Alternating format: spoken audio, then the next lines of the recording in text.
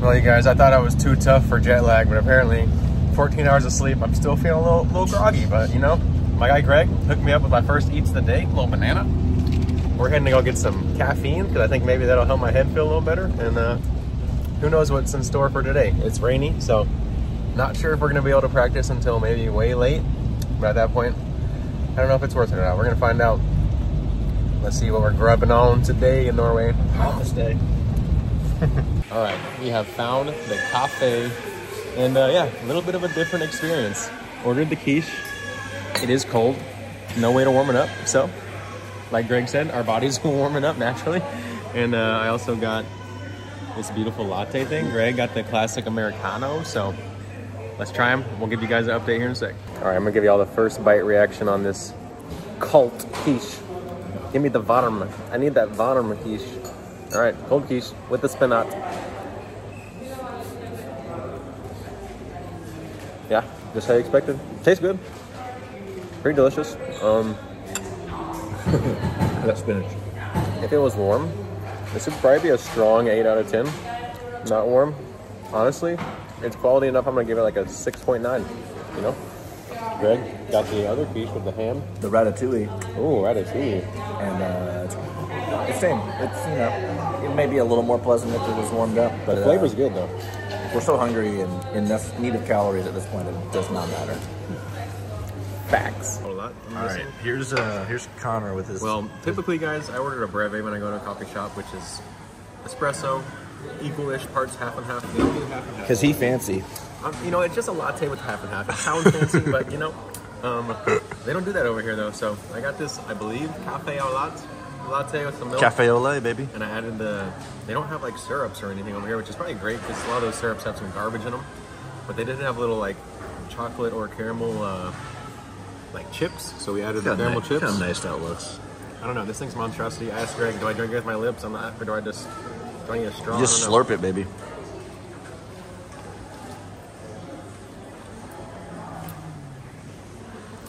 Oh yeah, quality. Um, Okay, so the No drink it, here. drink itself. What's the rating, and then we'll rate the cup. all right, cup. All right, drink itself. We're gonna go.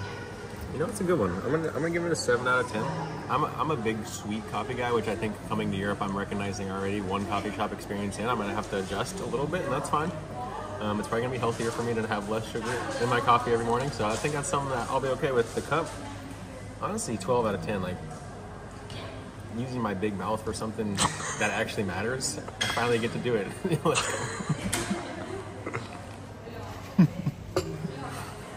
Delicious.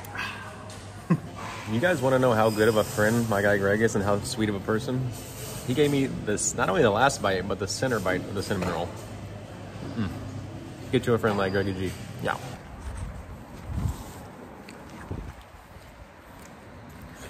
All right, midday update. We just finished a little meet and greet action, and then, you know, I feel like I just transported back to America. It's free, you know. Next meal will be better. Pizza. Cold. Decent though. I think this is warm. 8 out of 10. Cold. 7.3. Out here with our new friend Christian and my guy Greg. We just did a CTP challenge for school bread. So we're about to get a new food experience here. And you know who got it. Tour Series peanut butter somewhere in there. Yeah. In there. Opposite. Reverse. Yep. Right, right somewhere. Probably the most exciting part of the food vlog so far. Because I won it in a CTP battle against Christian and Greg. He loves winning. we got some school bread, uh, French inspired, but big here in Norway. I already had a piece, so I know what it tastes like. Greg's about to experience it for the first time, but It has a touch of vanilla. this stuff is delicious. Vanilla cream mm. in two different ways. There's like a white creamy, and then there's like a yellowy extra vanilla in the middle. soft. This is gonna be good with coffee. I can tell. Or cafe. Soft. You can tell it's baked definitely within a day or two. It doesn't say this soft without being fresh baked. Mm. Oh yeah, I'm going. I'm going high on the scale here. We're getting our first, first one of the nines. I'm going with a nine point four. You know what? I won't give it a true nine and a half, but this will be hard to beat. Um, I'll give it a.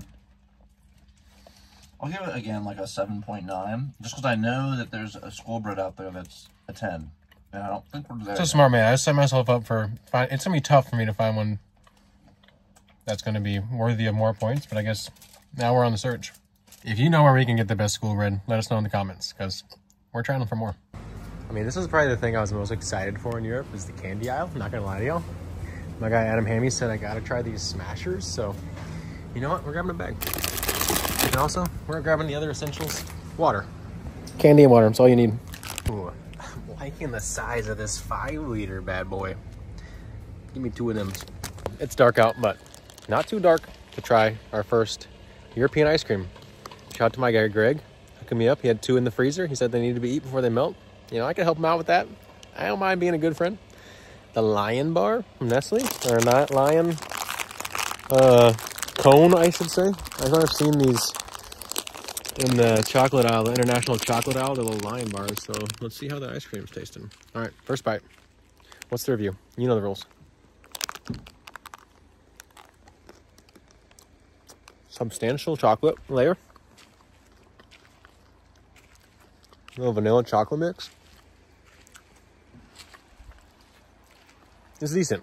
Um, I think this thing got melted, and so the chocolate oh, almost dropped, almost dropped it. Everything got shifted a little bit in there, a little hollow, but it's tasty, you know.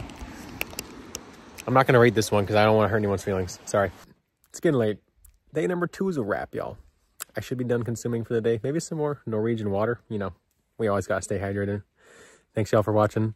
Hope y'all been enjoying this uh, different set of videos. And uh, yeah, I think tomorrow probably try to film a practice round.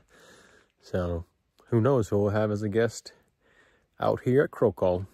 Stay tuned to find out. And don't forget to hit that like and subscribe, y'all.